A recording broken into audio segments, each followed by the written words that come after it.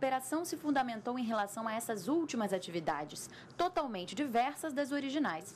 E por isso, o requisito de dois anos previsto na lei não foi atendido. Em Brasília, a audiência pública debate melhorias para o sistema carcerário brasileiro. O evento faz parte do programa Segurança Sem Violência, lançado pelo Conselho Nacional do Ministério Público, Ministério da Justiça, Conselho Nacional de Justiça e a Ordem dos Advogados do Brasil. Atualmente, o sistema prisional brasileiro passa por uma séria crise. Um dos problemas mais graves é a superlotação. Segundo dados do Ministério da Justiça, existem no país aproximadamente 570 mil detentos, que ocupam um espaço com capacidade para abrigar 310 mil.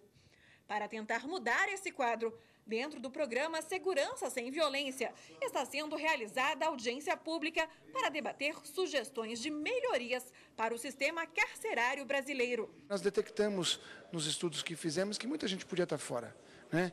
E talvez seja esse o caminho: o fortalecimento das alternativas penais, um, a aplicação efetiva das cautelares, em busca de soluções efetivas para que é, o sistema da superpopulação seja enfrentado pelo não encarceramento e também pelo desencarceramento de quem já está custodiado. Na audiência pública também foram debatidos temas como a aplicação de medidas alternativas às penas privativas de liberdade ressocialização e a disseminação de páginas com conteúdo racista na rede mundial de computadores. A rede mundial de computadores, que deveria servir para informar as pessoas, para disseminar informações positivas, tem sido utilizada muitas vezes de forma errada, especialmente criando estereótipos em relação às pessoas em conflito com a lei, é, criando é, uma reação popular em relação a isso é, discurso do tipo legítima defesa coletiva da sociedade e legitimando atos de linchamento, de exposição, de ridicularização. Também foi discutido o fim da permanência de presos em delegacias. Cadeia, delegacia, enfim, de polícia não é o local adequado para cumprimento de nenhum tipo de prisão, seja provisória, seja definitiva.